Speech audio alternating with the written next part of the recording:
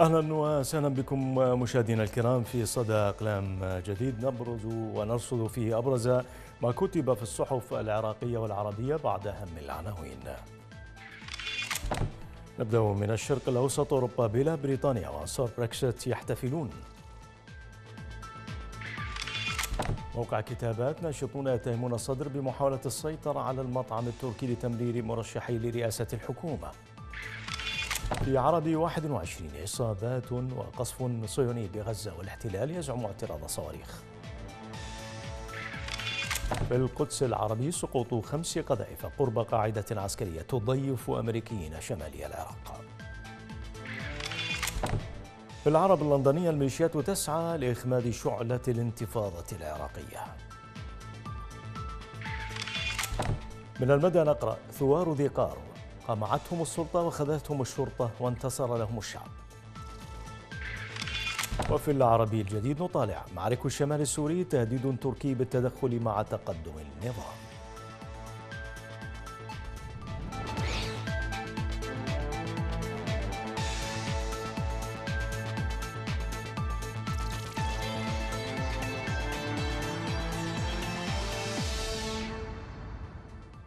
الحالة القائمة في العراق اليوم تتطلب من جميع الأخيار سواء كانوا أفرادا أم مؤسسات أن يعلموا ويعملوا على تنظيم أوراقهم للبحث عن مخرج للأزمة المتنامية في بلد يفتقر لقيادة وطنية تقوده لمرحلة الأمن والعطاء والبناء.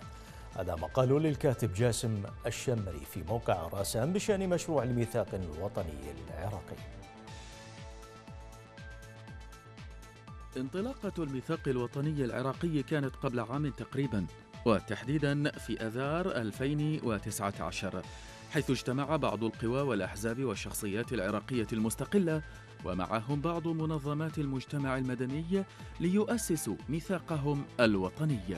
بعد أكثر من عامين من المشاورات داخل العراق وخارجه يدعو الميثاق الوطني العراقي شعبنا الذي ما زال يعاني من أوضاع مأساوية إلى الاستمرار بمساندة ثورة تشرين وتصعيد التظاهرات والاحتجاجات والاعتصامات في جميع المحافظات العراقية.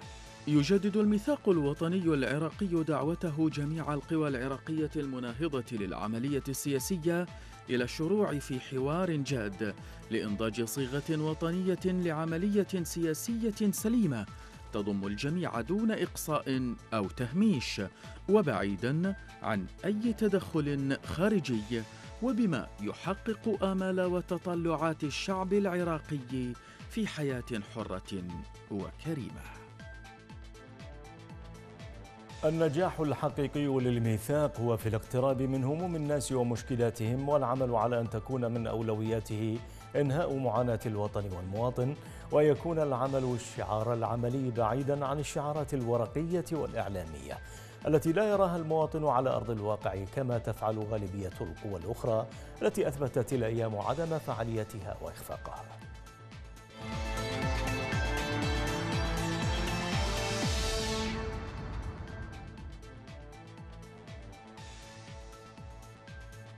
ونحن نقترب من نهاية الشهر الرابع للاحتجاجات في العراق بات واضحا أن الإدراك الوحيد الذي وصلت له الطبقة السياسية أو ما عدته من مؤشرات هو الخطر في تظاهرات بغداد وبقية المحافظات الوسطى والجنوبية هو أن التهديد الذي يواجهه العراقيون يتمثل بانهيار الدولة التي ربما لا وجود حقيقي لها.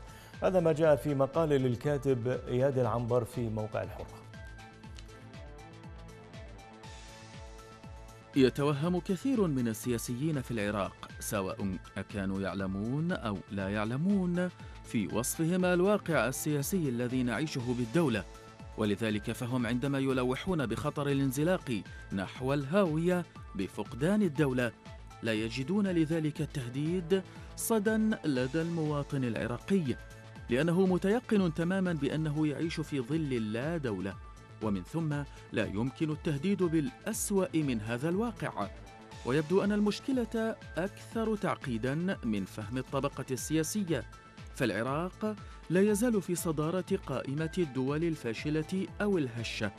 فعند التدقيق في مؤشرات هذا الوصف نجدها تدور حول محور يتركز في عجز الدولة عن القيام بوظائفها الرئيسة وأهمها الحد من الفقر والتدهور الاقتصادي والمشاكل بين المكونات وشرعية الدولة والخدمات العامة والمنظومات الأمنية والفصائل السياسية والتدخل الخارجي واللاجئون والمشردون. ومن ثم إذا تتبعنا تصنيف العراق في تقارير المؤسسات الدولية سنجده يتصدر تصنيفات الدول التي تعاني من انخفاض في جودة الحكم والاستقرار السياسي وحكم القانون حسب تصنيف البنك الدولي. والعراق يتصدر قائمة الدول الأكثر فساداً حسب منظمة الشفافية الدولية. يتحدث بعض السياسيين بحديث فج عن هيبة الدولة في حين أن ما نعيشه في العراق مفارقة خطيرة جدا ناتجة عن توهمنا بأننا نعيش في ظل دولة. إذ نجد أن المشكلة أكثر تعقيدا وهي سيطرة القوى الموازية للدولة على المجال السياسي.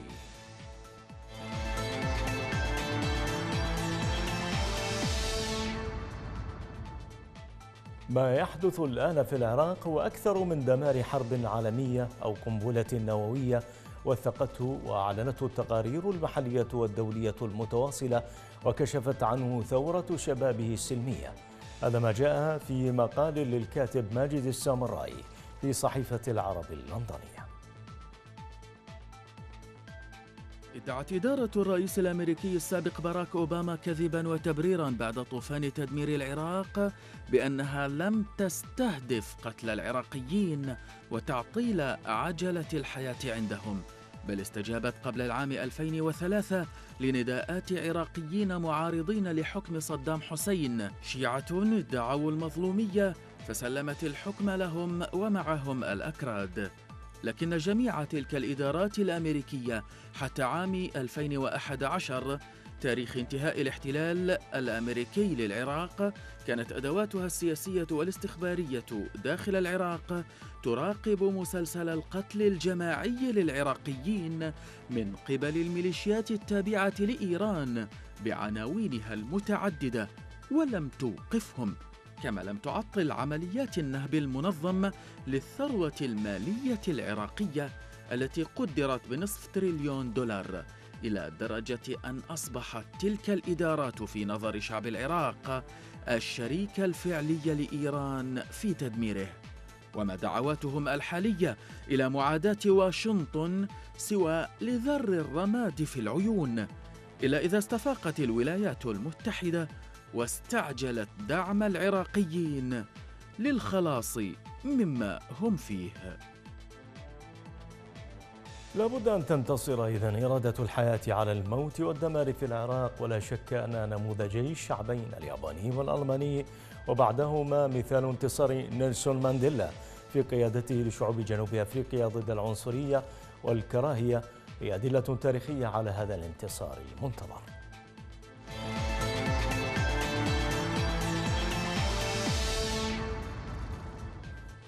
في كلمته. أخيرا تحدث عباس بلغة واضحة وقاطعة بأنه سيبدأ فورا اتخاذ الإجراءات كلها التي تتطلب تغيير الدور الوظيفي للسلطة الفلسطينية تنفيذا لقرارات المجلسين الوطني والمركزي. ودعا الفلسطينيين جميعا إلى رص الصفوف وتعميق الوحدة الوطنية. هذا ما جاء في مقال الكاتب أسامة أبو رشيد في صحيفة العربي الجديد عن موقف عباس من صفقة القرن. نتمنى أن تكون هذه لحظة تغيير حقيقية في مواقف عباس خصوصا بعد أن قطع ترامب تخرصات المراهنين على موقف أمريكي متوازن. كما نتمنى أن نشهد إعادة إطلاق للمشروع الوطني الفلسطيني المستلهم للثوابت الوطنية والمؤسس على الحقوق غير القابلة للتصرف. كما نتمنى أن نرى دفنا لانقسام العار بين حركتي حماس وفتح وبين الضفة الغربية وقطاع غزة. ولا نحقق رغبة واشنطن وتل أبيب بقيام حرب أهلية فلسطينية حضت عليها صفقة القرن. لقد اتضحت حدود السقف الأمريكي الإسرائيلي المنخفض فيما يطرح على الفلسطينيين. حتى لو نفذوا كل الاشتراطات المطلوبة منهم فلن تكون هناك دولة بسيادة. ولن تكون هناك عاصمة في القدس الشرقية ولن يكون هناك تفكيك للمستوطنات وترحيل للمستوطنين عن الضفة الغربية. ولن يكون هناك حق عودة للاجئين ولن تكون هناك حدود للدولة الفلسطينية العتيدة إلى آخره. كلمة أخيرة هل أنا متفائل بتحول جذري في موقف القيادة الرسمية الفلسطينية؟ وتحديدا الرئيس عباس أكذب إن قلت نعم فتجاربنا السابقة معها لا تبشر بخير.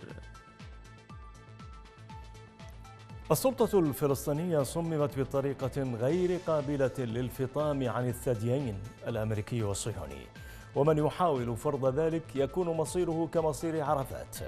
وأضاف الكاتب أتمنى أن أكون مخطئا. فهذه من المواقف التي لا ينبغي أن يتمنى المرء أن يصيب فيها. ولكن الأمور لا تأتي بالتمني ولا بالشعارات الرنانة التي لا تلبث لا تلبث أن تنطفئ جذوتها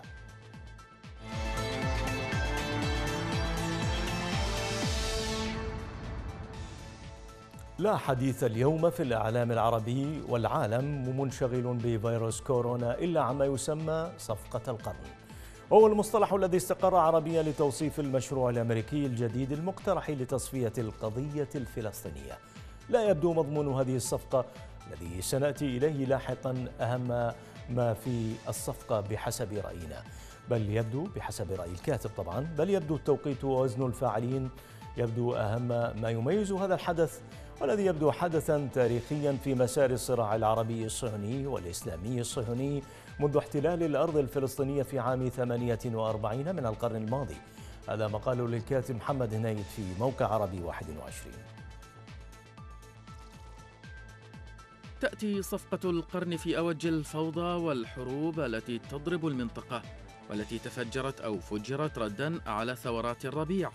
فالمشهد المصري يلخص الحالة العربية بعد الانقلاب على ثورة يناير. أما سوريا فقد حولت العصابات الطائفية البلد إلى مذبحة مفتوحة تعجز كل كتب الأرض عن وصفها. أما بقية الدول العربية في المغرب العربي وفي الخليج على السواء فهي اليوم في أضعف أطوارها بعد القمع الذي تعرضت له شعوب هذه البلدان بسبب الثورات أو لسبب آخر. وهو الأمر الذي يجعل من الفاعل العربي أضعف الفواعل في المشهد الإقليمي. من جهة أخرى تهرول دول عربية كثيرة إلى التطبيع العلني مع الكيان الصهيوني. أما اللاعب الأساسي في المشهد العربي ممثلا في شعوب المنطقة فإنه رغم محافظته على رفضه المطلق لكل أشكال التطبيع إلا أنه يقف مكتوف الأيدي وعاجزا عن الفعل المؤثر. فيما يعقد على حسابه من صفقات. إن تجريد الجماهير العربية من القدرة على الفعل السياسي بسبب الطبيعة القمعية للأنظمة الاستبدادية قد حولها إلى كتل صماء مفعول بها لا يقيم لها المفاوضون وزنا يذكر. مصير القضية الفلسطينية لا يرسم في الأرض المحتلة وإن كانت هذه الأرض جزءا أساسا من المعركة. إنه يتحدد في الميادين والساحات والعواصم العربية كلها. وخصوصا تلك التي رفعت شعار الشعب يريد إسقاط النظام.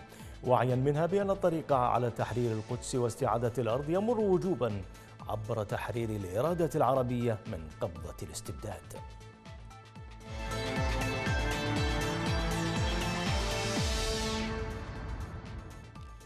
لم يبقى أمام الفلسطينيين سوى خيار واحد البقاء والقتال.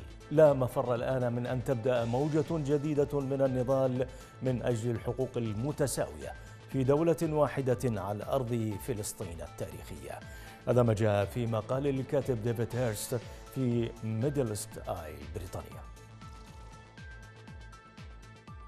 لا ينبغي لأحد أن يستخف بالطبيعة التاريخية لما تم الإعلان عنه.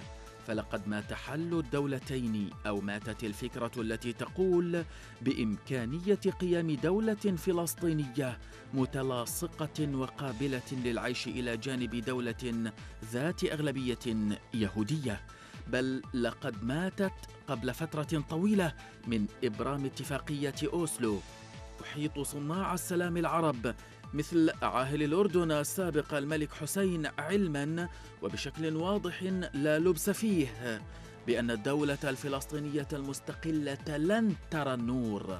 أخبرهم بذلك السوفييت على لسان يفغيني بريماكوف كما أخبرهم به وزير الخارجية الأمريكي جيمس بيكر. إن الرسالة التي توجهها هذه الخريطة للفلسطينيين بغض النظر عن الفصيل الذي ينتمون إليه واضحة وضوح الشمس في رابعة النهار. تناسوا خلافاتكم. تناسوا ما جرى بين فتح وحماس في غزة في عام 2007 نحوا جانبا كل المزاعم والاتهامات حول من انقلب على من وتوحدوا. وحدوا صفوفكم في مواجهة خطر يهدد وجودكم.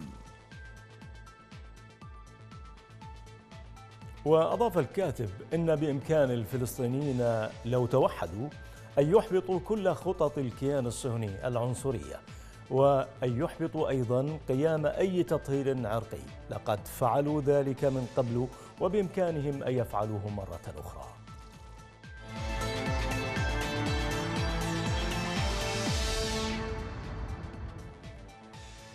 ازداد عدد الوفيات الناجمة عن الإصابة بفيروس كورونا الجديد ليقترب هذا العدد من 2 إلى 259 ازداد حالة وفاة في الصين وقفز عدد المصابين بهذا الفيروس ليقترب من 12 ألف مصاب.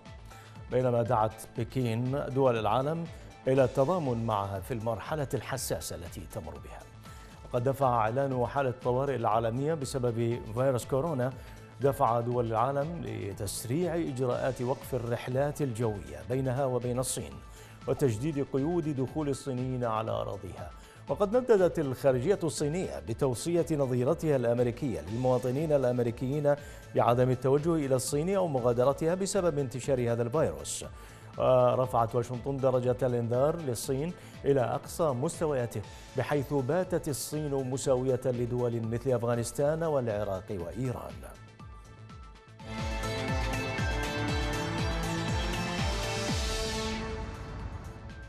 نبقى الآن مشاهدينا الكرام مع مجموعة مختارة من الرسوم الكاريكاتورية.